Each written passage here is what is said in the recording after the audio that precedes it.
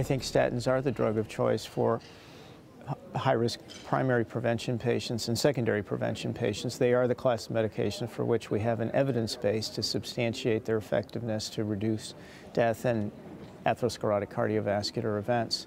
I think the dose chosen is really that recommended by the American Heart Association and the American College of Cardiology, and it's targeted to risk. And there are tables available that help all of us uh, try to correlate the dose of a medication with respect to the intensity of therapy that we have been recommended to provide.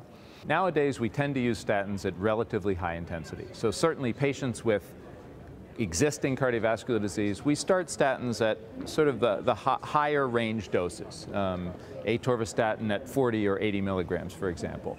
Uh, in, in patients who are not as high risk, who are younger, we might start a little bit lower, see how they do, titrate up over time.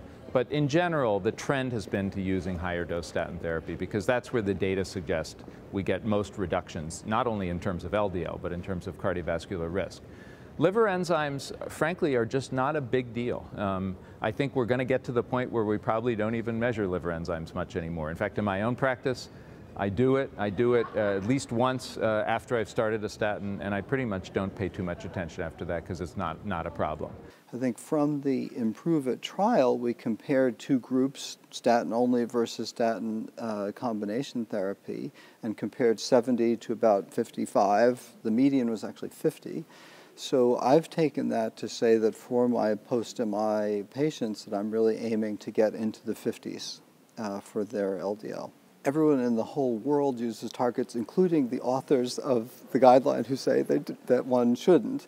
And to their defense of that, they've been too defensive, but um, they didn't have evidence, they thought, of uh, adopting other therapies. And so that was, again, two plus years ago. So things have changed, thankfully.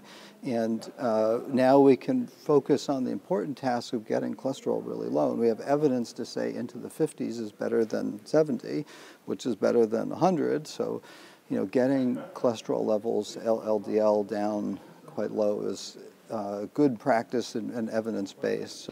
Since the publication of the Improve It trial, ezetimibe seems to have made a comeback.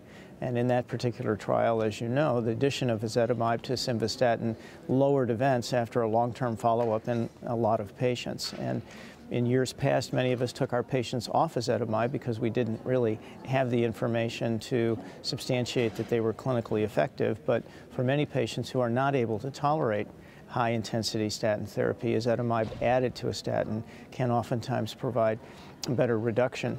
Well, it's an exciting time in treating cholesterol in that we traditionally have had just statins and pushing to high dose statins. There's resistance for fear of side effects, but we now have data with ezetimibe that it too can reduce cardiovascular events, and so that adds a second proven um, option in, in terms of lowering LDL. And then, of course, PCSK9 inhibitors dramatically lower LDL as, a, as another option for us. So what this provides us is more evidence. So 2013 was 2013, it's now 2015, almost 16, and we have more evidence, more options, and so it can bring back the notion of trying to get the cholesterol down as, as low as possible.